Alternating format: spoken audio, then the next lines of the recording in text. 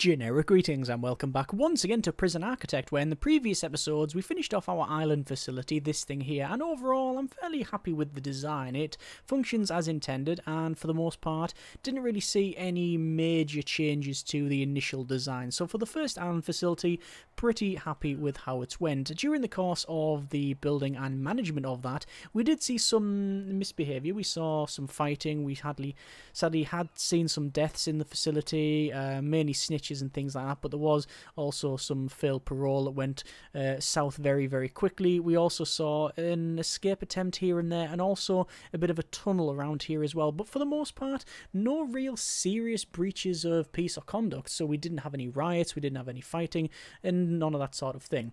In the previous episode, we did manage to successfully escape from the facility, and the way we did that was by fighting, getting a set of keys, which actually didn't set out to do, but we got a set of keys. We ran out here and yes, I know that I still haven't fixed that. Uh, with of staff keys all the way to this right hand side, through the reception, dodging some fire from the tasers.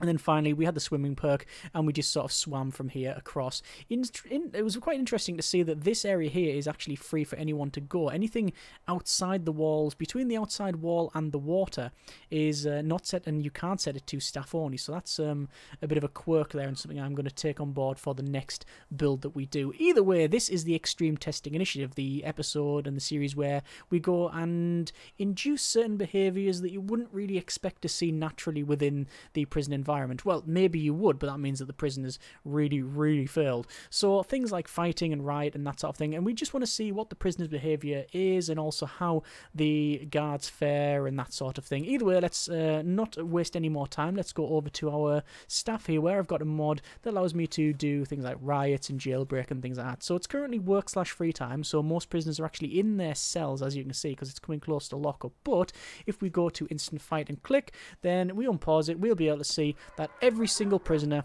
has started to fight. Now, obviously, anyone outside is going to be targeted by these snipers here, and they will get either warning shots or just straight up shots. And there you go, the prisoners are fighting. Sometimes they are fighting themselves. Uh, themselves, sorry. Uh, yes, the prisoners are fighting other prisoners, is what I meant.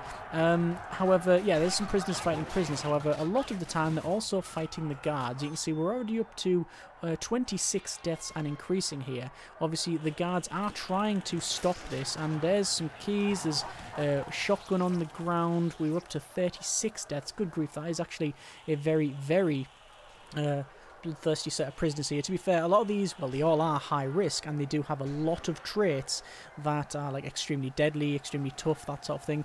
Interesting to see that only one prisoner, uh, sorry, two prisoners so far have chosen to try and escape from the facility. So this is prisoner uh, Matt Sadler here, who is now going outside. They have a set of keys, and they're actually following the same escape route that I did in the previous episode. So that's actually quite interesting to see. They are now going to the edge here and they're not able to swim across. They don't actually have any traits that allow them to swim as far as I'm aware, but they are actually trying to uh, go over this fence. They're trying to get back into the facility, so I don't really know what they were attempting there. There's another set of keys picked up by Gareth here, who's then dropped them there, and yeah, they're not swimming across. Okay, that's interesting to see. A riot is also now underway. I'm not entirely sure where the riot is underway. It looks like to be around here. Um, but basically, this is now certainly not really, uh, I wouldn't say a massive problem, believe it or not, but it's Oh yeah, it's up here. So we're going to go guard response and send them up there. So this is still technically within our control, um, but it's certainly something that we really don't want to see. There's no prisoners escaped, and obviously there's been 50 deaths, 51 deaths now. So what I would probably do emergencies, I'd call in the elite ops team and the air paramedics, but we actually don't have enough money to do that. Can we in some way get the, no, our bank loan is currently far too low because it's still bugged, and um, yeah, we can't actually sell anything. So basically, we can't even uh, do anything in terms of bringing people in to, you know, try and quell this. So we'd have to do with the staff that we have, and I think it is actually possible. I think we could probably do that. However, It's something that it would be very difficult to recover from simply because of the amount of repairs that we have to undertake. Um, obviously, money is not actually a big problem. We've got seven grand incoming, but also we're going to get 23 pri plus prisoners as well. So yeah, we'd have to restaff the facility and bring stuff in. So it would still work. You can see the uh, riot is still um, not stopped. Oh no, it actually has been stopped there. So basically, we've managed to recover. The prisoners have pretty much killed each other off. That's pretty much what's gone on here. So that's a behaviour that I sort of expected to see because of these high risk prisoners and they have a lot of like say strong deadly um, those sort of traits you know i expect them to do that and um, that's exactly what has happened okay let's try and see what happens if we just go for a full riot so once again, same map, same save. Let's go over to staff and the instant riot and we will click and you can see we now have all of our prisoners rioting. So as opposed to simply um, fighting each other, they are now wanting to take territory. And once they've done that, they also may want to uh, leave. So you can see a lot of prisoners, already a lot more prisoners are wanting to try and leave this area. In fact, some of them are actually smashing through this door here to try and gain access to all of the uh, power systems. Now that's something that isn't actually a big problem in this facility, because if you break this, uh, in previous facilities. If we had, say, an automatic door opener and the power goes off, it could cause some problems, but we don't have any of that. We decided not to bother. But you can see we have a lot of prisoners that are now coming this way, probably towards the armory, so we'll see how that goes. In terms of territory, they've managed to take over the, well, several areas. They've taken over the kitchen, well, the canteen, but not the kitchen yet. They've taken over two of the cell blocks, two of the showers, and the chapel and the common room. So they are taking territory. Once again, this security room and this office they're also taking over because apparently fountain pens are the most precious thing in the world. And I think they're going to smash up all of the power.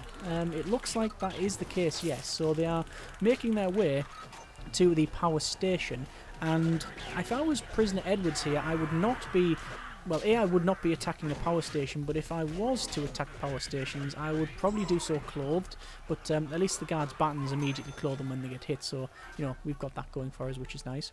Uh, we could do things like shakedown and lock up, and, uh, well, bang up mainly is to, you know, to, to close all these down, but um, let's be honest, um, we're trying to see exactly what happens when all of this, uh, when all of this occurs. So, we have not yet had any major um, like escape attempts. They've just sort of fought around here, which is interesting. I would have thought more would have been trying to get to the armory, but that's not actually happened. You can see that obviously the water boiler's broke and the power's off and such. So we've got actually the power isn't off, but the water is the water pump's broke, so we've got no water and heating and stuff on these prisoners. Luckily, it is spring and 14 degrees, so that's fine. But if we had the exposure thing on, then that would be all kinds of bad. So we could, if we want to, go to emergencies and call in... Well, we actually can't call in any elite operations because, again, we don't have the cash for it. So what we'd have to do is call in the elite ops and then bring them round. You can see, in terms of deaths, we're on 26, so that's actually half the half the amount from the previous fight because this is all about taking territory and causing trouble rather than, you know, specifically taking other people out. They're also mainly taking out the staff and the guards rather than taking each other out. There's still, there's a couple of exceptions in places. You can see there's some damage across the board, which could have been, uh, that could have been caused from fighting the guard and stuff. But either way, you can see that we do still have some uh, areas around here. We could put on free fire, uh, so you can say free fire all sectors, um, and you know that armed guard will start to you know attack people where necessary. So if we send the armed guard here, let's see what happens. So they're going to come into this area, and they've got free fire mode on, so they're not going to uh, fire any warning shots. They are just directly targeting these prisoners here, who are actually putting their hands up. Well, some of them are. Some of them are obviously falling over and uh, I'm just telling them to to move in although they are not wanting to do so. There we go. I'm telling them to move in again. And this is where we can start taking back the uh, the territory. Albeit a little bit more difficult. Let's go over to emergencies and the elite ops team because we we are able to call that in. And as you can see we have this helicopter come down and I don't know where it's going because that's where our helipad is. So where is our elite ops team going? Oh it's coming here. And are we able to tell him to move out of there? Um, we can tell the helicopter to move. Okay. This is interesting. Can we, like, land it in the middle of here?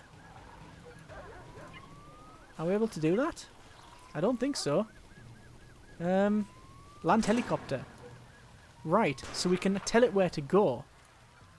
Yes, I you can say like land or move. Hang on, let's see what I've got. Dismiss, land, deploy squads. Can I deploy squad here? I can! So you can deploy the squad anywhere. Oh, that's cool. So they're going like down on zip lines, and then we can bring them in. Oh, that's re I really like that. That's really cool. it's a shame you only see this when it goes south. Anyway, so they're in here, and um, right, they're basically like the uh, the National Guard, aren't they? They just uh, they come in and yep, they've taken control of that. Um, I mean, taking control of this stuff is not going to be overly difficult, is it? As you can see, they are just yeah, they're they're literally not taking any prisoners.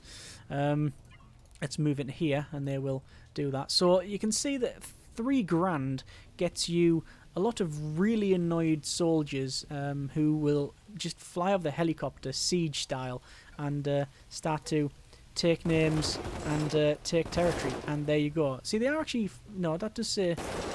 Yeah, they're all, all unconscious and stuff. So they are...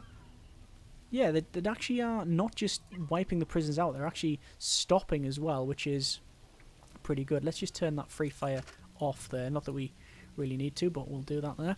And we'll see if we can take this territory. So Elite Ops, um, as you can see, they are very, very good at what they do. Yeah, they're actually, they're actually putting them on unconscious. They're not killing them.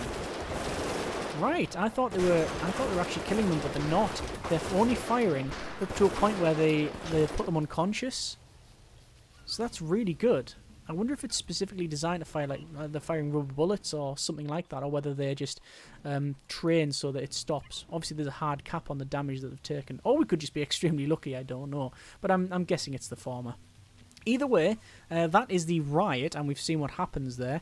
We yeah, basically see that what happens is they take territory and they don't want to escape, which is pretty much what we expected. They're just trying to break stuff and fight. Okay, so, let's see what happens now, and this is probably going to be the most interesting. Let's see what happens when they all try to escape and what they do. Okay, so this time we're going to tell them to do a instant jailbreak. So their task is to try and escape from the facility as fast as they can and by the most direct method. Now, because this is an island, I really don't know where the weak spot would be. I don't know whether they're going to try and climb over the wall, whether they're going to try and rush out the front. It seems to me that they're going for the latter option, and they are currently all charging out the front, although because they are high-risk prisoners with a lot of, well, a lot of uh, extremely deadly, extremely quick traits, traits that obviously are causing them to uh, get into a fight and then be able to, well, take out their target, you can see that although they are fighting, they are fighting to get past that person.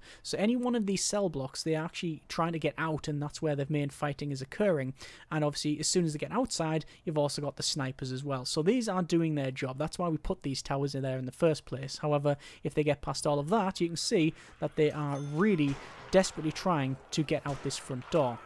And the thing is, what are they going to do when they get out here? So we've got, we've seen a couple of people go out, but it didn't seem to get anywhere. And ah, actually, what's happening here? And this is a, this is a strange one. They're actually going to the armory and they're picking up loads of weapons. I wonder why that is. Now this is, I like to say, an escape attempt, and they are trying to escape. But what's happening is they're getting to this section, and they're not going any further Uh, so I don't think any of these prisoners are able to swim. You can see they're getting to the end and then they're just dropping this. So, oh wow, and okay, now now this guard's just shooting everybody. Oh, and there's a couple of people saying they're escaping, which we're aware of. But then they drop and then they come back.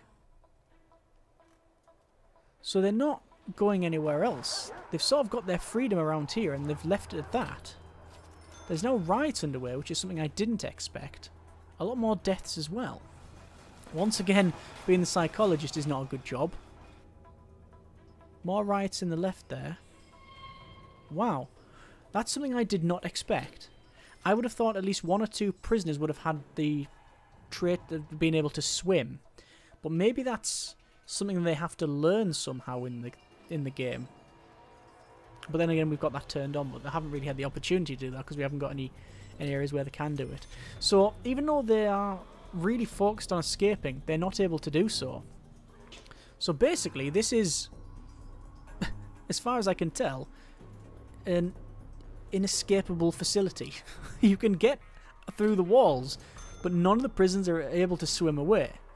Unless there's other other things afoot. Because you can see they're getting to this one part and then dropping stuff, and I don't know why. Okay, well at least we know that even if things went, you know, really wrong, then we still wouldn't have these prisoners reach the mainland. Right, Okay, let's try something that is, quite frankly, ludicrous, but quite fun to see. Okay, we've recently seen what happens when some prisoners get to the armory, but what happens if the armory comes to them? And in this particular case, every prisoner is armed with something, ranging from a made-up club to an assault rifle, and everything in between. Well, immediately it starts to kick off because that is what the prisoners like to do.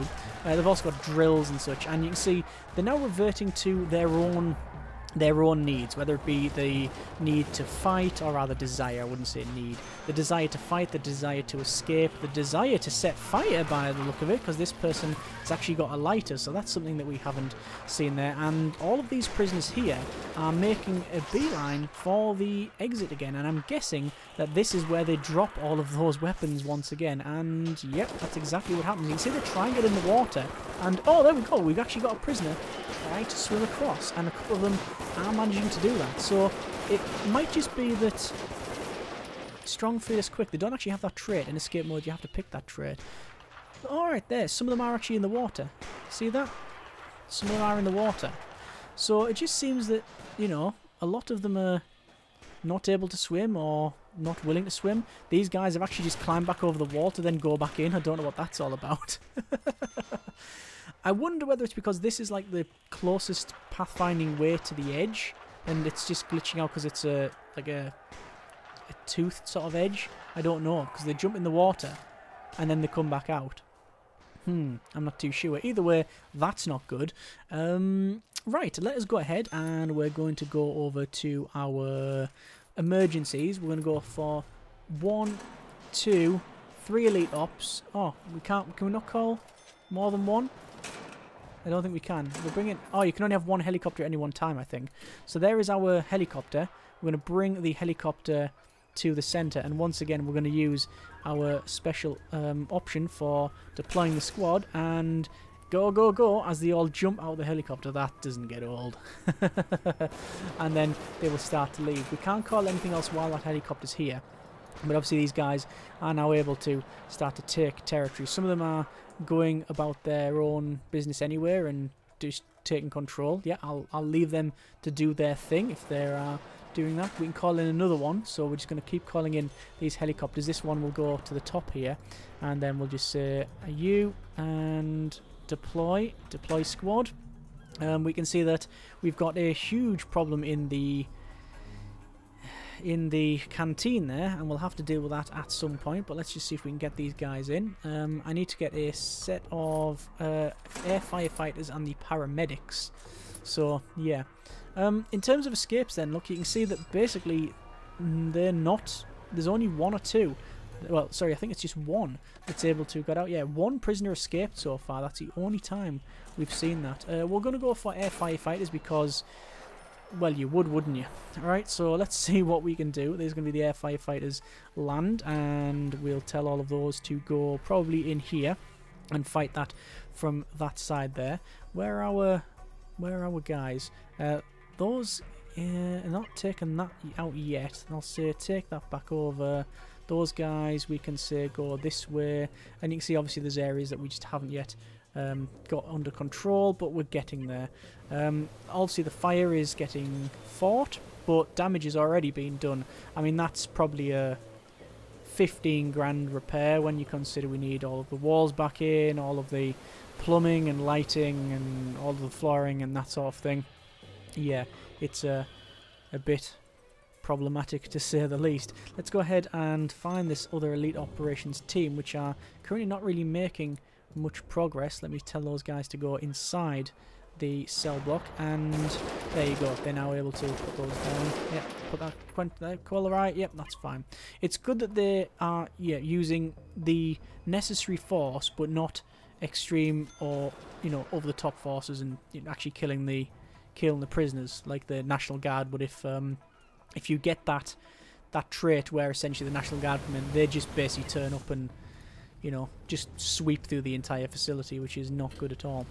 But you can see Riot is almost finished. The prisoners are not getting onto the visitor boat, which is something I may have thought would have would have been nice to see added. To be fair, but also uh, one could say that about the buses in uh, the standard version of the game. There, we're able to put out this fire uh, down the south bit here, but we also are seeing it spread up the top as well. And obviously, it's quite smoky and they're quite slow to move through that. But we've got some good good coverage there. Still a bit more rioting.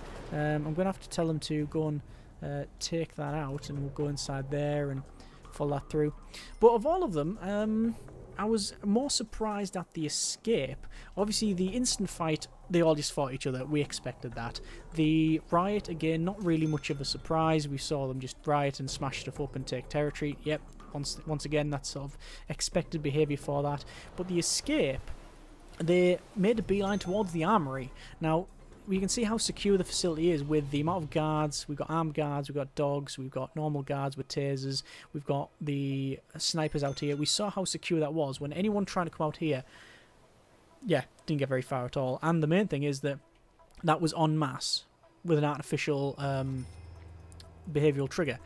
So that wouldn't you wouldn't get the entire cell block normally doing that in one go. So the fact that we managed to stop that with just one um, we're just sort of like our standard setup is really really good to see. Um, furthermore, you know the the the fact that they get here and don't escape is a bit of a shame. You can see, look, they're trying to. That guy's swimming um, against the current. Uh, they see they're swimming and then they sort of go back. And I don't know whether that's because of a bug or or what. I really don't know what the deal is there. Either way, uh, we have seen this thing under extreme uh, testing conditions. No massive surprises other than the, the escape one where they actually armed up before going out. Would like to know why more of them didn't swim and why only one person has escaped. But it's nice to know that the facility is fairly secure, if not fireproof. Either way, I hope you have enjoyed the video and the series overall. Um, we'll either be continuing on with an expansion, depending on how the votes were, or we'll be going for a new build. Either way, hope you enjoy that too. We're going to leave it there. Thanks very much for watching. Take care, and generic partings.